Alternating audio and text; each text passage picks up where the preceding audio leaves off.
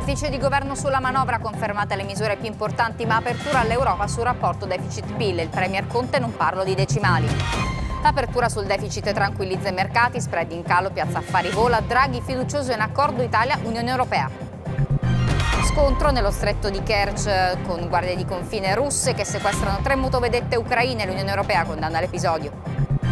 Speranze per Silvia Romano, la giovane italiana rapita in Kenya. La polizia speriamo di trovarla viva, ci stiamo avvicinando ai rapitori. Uno scienziato cinese sostiene di aver creato i primi esseri umani geneticamente modificati. Sarebbero due gemelle nate a ottobre. Addio a Bernardo Bertolucci, regista di capolavori come Novecento, Ultimo tango a Parigi e L'ultimo imperatore che gli valse due Oscar. È arrivata su Marte la sonda InSight della NASA a News 24, le fasi cruciali della discesa sul pianeta rosso e la prima foto dal pianeta rosso.